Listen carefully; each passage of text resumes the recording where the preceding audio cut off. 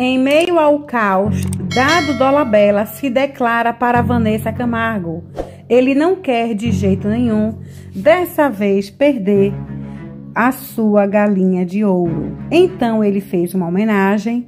Essa publicação ele deixou aí visível, expostos para todos no último sábado, dia 18. Mas, segundo fontes, que o dado Alabella já não sabe mais onde colocar Vanessa e que dessa vez teve que levar ela lá para o meio do mato para fazer uns banhos, é, fazer incensos e também para ela tentar refletir e pensar na sua vida, porque também não é fácil uma mulher estar tá com cara e a mulher está sempre tentando lutar para voltar, voltar para o seu ex-marido. E nada melhor, né, para um cara que é gigolô, um cara que é que gosta de ser encostado, de ficar encostado, tenta aí manobrar a mulher de qualquer jeito. A Vanessa, vale lembrar que quando ela estava com o Marcos Boas, ela andava às escondidas falando com o dado até que ela não aguentou mais e correu para os braços do dado da Labela.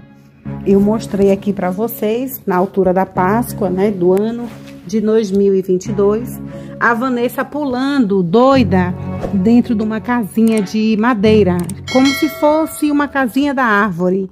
Eu acho que vocês estão vendo mais ou menos o que é que era.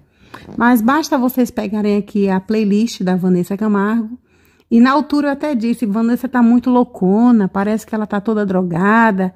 Então a Vanessa, ela entrou assim num ápice decadência muito grande. E agora ela parece que despertou. A gente vê que a Vanessa tá novamente, visivelmente, muito mais magra. E sempre que ela tá assim muito magra, é quando ela tá novamente revivendo os seus pesadelos. Então, por isso que o dado recorreu aí às fadas místicas para poder fazer aí um feitiço, seja o que for, para dominar essa mulher aí para os braços dele. Porque se a gente for pensar, não é normal uma mulher largar marido, largar casa, largar, a fortuna toda para trás e ir para o meio do mato escondida, dizendo que precisava urgente de um spa para poder desanuviar a cabeça. Ela foi desanuviar outra cabeça, né? Que vocês me entendem muito bem. E foi desanuviar o seu alibido em plena Páscoa, gente. Foi uma data é uma data muito importante, sabe? A gente não tem noção se essa data é mesmo a altura real ou não, mas não interessa. O que interessa é o que nós é o que nós festejamos nesta data. E ela largou tudo e foi para o bra os braços do Dado Dolabella.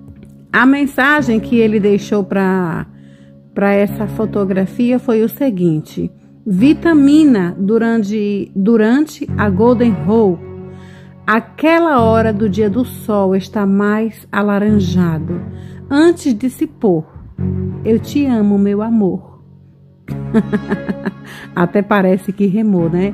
Dado, ele tem que dizer mesmo, sabe? Tudo e mais alguma coisa para Vanessa, porque afinal, a Vanessa que tá fazendo ele gente. Mas ela acordou. Ela acordou e vamos ver qual será o próximo capítulo. Não vejo futuro com esse povo, com esse rapaz, não vejo felicidade com esse rapaz. Vejo uma felicidade momentânea. Não é que eu vejo, né? Que eu não sou bruxa, é o que eu sinto. Falando assim, melhor. É, é, o que eu sinto. Não vejo felicidade, não vejo amor.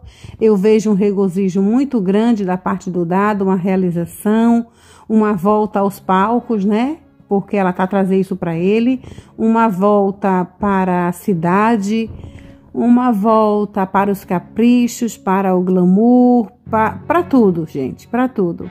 Então eu vejo o dado, nessa, o dado nessa gratidão de volta a uma vida real, uma vida de lorde, uma vida de muitos luxos e riquezas.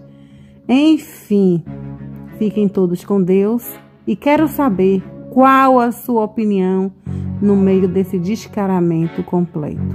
Enquanto isso, o Marcos Boas está namorando muito bem com a Isis Valverde e a Vanessa já quer voltar para os braços do Marquinhos. Mas o Marcos já disse que não abre mão da sua namorada. Beijo, gente!